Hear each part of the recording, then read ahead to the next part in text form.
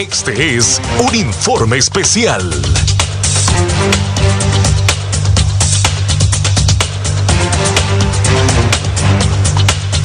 Este es un informe especial. Siguen los ataques contra el sector transporte en el país y a esta hora se encuentran paralizados los buses de la ruta Mercado Los Pinos. Ya no aguantan la extorsión, es lo que han manifestado. Nelson Sorto.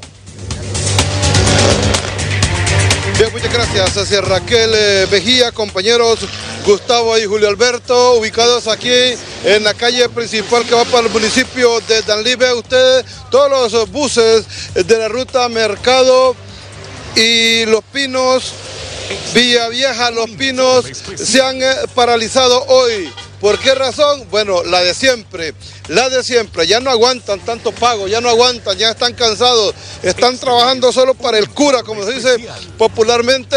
Y hoy todos los muchachos, conductores, cobradores, se han paralizado porque recordemos que a ellos es que les cuesta pagar. Ellos deben de trabajar trabajan para el, para el dueño del, bus, trabajan para, hacer, para los extorsionadores y tienen que trabajar para pagar la esquela, tienen que trabajar para pagarse, hacerse el sueldo ellos mismos. Por tal razón, ellos están paralizados hoy aquí en el sector de, en el desvío a Los Pinos. Aquí se han quedado todos los muchachos eh, paralizados.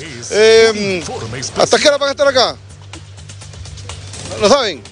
Indefinida la paralización indefinida la paralización de estos jóvenes y con mucha razón, mira, aquí están los buses, eh, han aprovechado para lavarlos, para limpiarlos, para, eh, bueno, para hacer algunas otras cosas en los buses porque ya no aguantan ellos. Aquí están eh, y también hay que cuidarles la identidad porque si no pueden tener represalias. Pero bueno, vemos allá que está la, la autoridad también, la policía, ellos están resguardando acá. No sé si están acá por, por si ellos toman la carretera, pero ellos no están interrumpiendo el paso vehicular. Las dos vías, los dos carriles están completamente libres para que, los, eh, para que el tráfico vehicular pueda fluir sin ningún problema.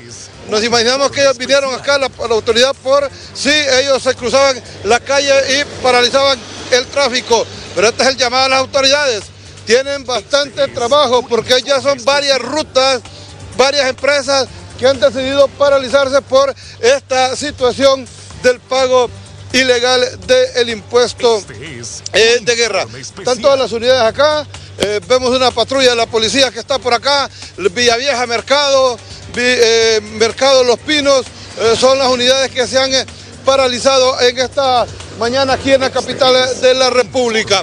Solo una consulta rapidita. Eh, oficiales, eh, ustedes están para darle apoyo aquí a los, muchachos, a los eh, conductores de las unidades de transporte. Un informe especial. ¿Qué informe han recibido ustedes? ¿Por qué paralizaron ellos hoy? No, supuestamente no.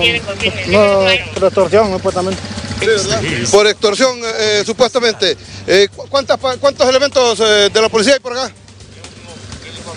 Ahorita viene una camioneta, ahorita estamos nosotros, en momento. una motorizada y vienen más refuerzos. Más refuerzos. Bueno, muchas gracias. Trabajando también la Policía Nacional, eh, apoyando a estos muchachos, cuidándolos acá. Es bien difícil eh, cuidar a cada una de las eh, unidades y a los conductores y a los cobradores, pero por lo menos el esfuerzo es importante para tener ese apoyo moral por parte de las autoridades los operadores del transporte que están ubicados hoy acá en este sector. Eh, Cecilia Raquel, Julio Alberto, Gustavo, eh, Gustavo Adolfo Ramos, voy a retornar con ustedes al control principal de Habla como Habla, televisión digital, justo a Ceguera, al control principal.